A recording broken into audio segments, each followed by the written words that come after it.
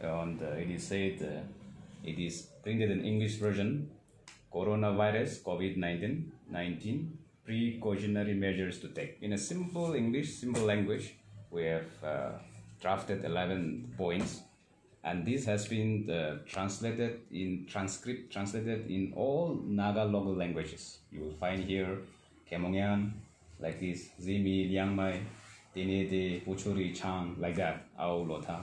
Same as all these in all these languages, we have printed a copies, a volume of one one lakh copies, and uh, this has been circulated by our party functionaries, distributed to all the remote areas. And uh, you know at the expense of the party the expenditure was borne by the mlas from the you know, salaries of our mlas the NPF legislators have donated a little bit from their monthly salaries to the party and therefore we have come up with an idea that uh, we have to print out this and circulate to all the local languages this is how this party has been contributing a little bit whatever we can to help strengthen the fight against coronavirus COVID-19. So from the party side, uh, I think we are not lacking on our, on our side, uh, on our part, and uh, uh, we have done so. And definitely we will continue to do more if uh, it is, you know, it is so required. Uh, yesterday's in the press, I, we have seen in today's paper that the government has already imposed for 144 CRPC in the Dimapur.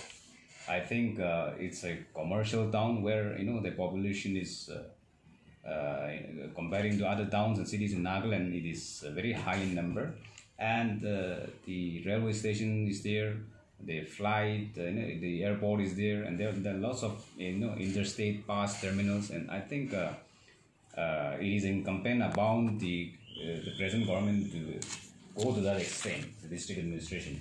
As far as that exercise is concerned, I think uh, for the time being, we welcome that idea. That's it's not a bad idea. It's I think it's for the safety of everyone. We have uh, no qualms against that, uh, but uh, it has to be very judiciously uh, implemented. It, it should not be put, you know, to harass the people, and therefore that part also I would like to uh, put across our party's stand on this.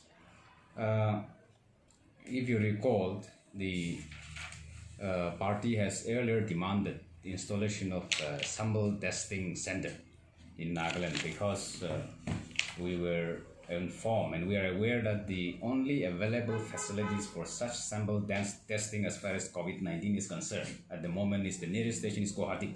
And therefore our, our people financially speaking, as well as even from transportation point of view, from the distance point of view, it is rather very difficult for our people to go and avail the facilities. And therefore, we have demanded, uh, you know, as early as uh, 16th March, today is 24th. We have not heard from the government whether any of such sample, uh, sample testing center has been already installed. And therefore, we would like to also know from the government whether uh, such uh, center has been already installed and where, and if it is so, where it has been installed, what will be the cost, how the public will you know, avail the facilities. These are few points we would like to also raise to the government uh, on this uh, situation. Uh, now, another point which I wish to raise is about the, you know, our people, especially those people are stranded outside the state of Nagaland. How, what kind of steps the government are, are is, has, has taken so far and uh, there's a lot of reports, even you know, uh, no, uh, racial dis- uh, racial discrimination on this issue. That that since we look like Chinese, the people at the mainland started you know abusing our people, you know, you know, uh, in many ways, and uh, you know, trying to socially segregate them. I think this is one concern which we would like to raise to the government of the day, the PDA government. What steps they are taking and uh, is there any communication with the central government or any of the states where these are happening? Is there any communication and what are the steps they have taken and they are taking? So this is also one concern area of concern which uh, we would like to raise to the government.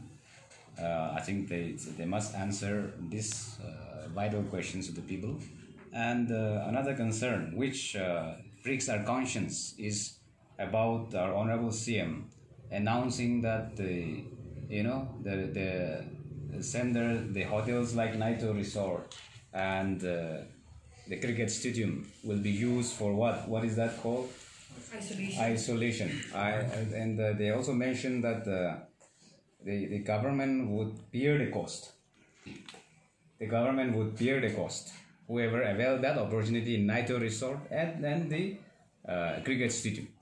Uh, we would like to make it very clear. Yes, our appreciation on, I mean, our support on this fight stands. But I think these are a few things which we would like to question the government. What do they mean by government will bear the cost? Number one. Number two, government as of today has a lot of facilities. Like you have a guest house, you have a circuit house, you have a tourist lodge, you have uh, even in Dimapur, uh, I remember the commissioner guest house. You know, so many government uh, guest house are there. So many government facilities are there. Why don't we first exhaust those facilities? Why don't we first upgrade such facilities so that uh, no people avail those facilities at the lower cost? Of, no, of course, no doubt, uh, definitely the expenditure involved, but it has to be at a minimum cost. Now, when we say when they say that uh, these two facilities, cricket stadium as well as Niathu Resort, will be used, and the government will bear the cost, it is something which you know, it is something which is it's, it's worrisome because the, the the the exchequer of the state is as it is. We are running on liability. Now, if such is the you know such is the idea that is that that is the you know uh, being uh, mooted out by the, the PDA government then the we don't we, we also would like to question the motive behind. What could be the motive? I think these are few things we would like to question because these government facilities the government hospitals and there are also enough private hospitals. I think more uh, you know aid and assistance should be offered to them first. Find out the possible means. And if yes if the, the magnitude of the you know problem is such that where the they alone cannot manage. I think yes, all these private resort, no, private resort, uh, no, uh, private establishment can be also requisition, can be also requested the use. That should be made as a last resort. But if the most expensive hotels, the most expensive places are made the first option, isn't isn't not a worrisome for our people? And uh, this is not a time to you know uh, you know, of course, we also understand not the time, not not to. It's not a time for you know for us to play politics. We are, we are, we also understand that, but at the same time, it is also not a time to do business. Nah, I think we are clear on our stand.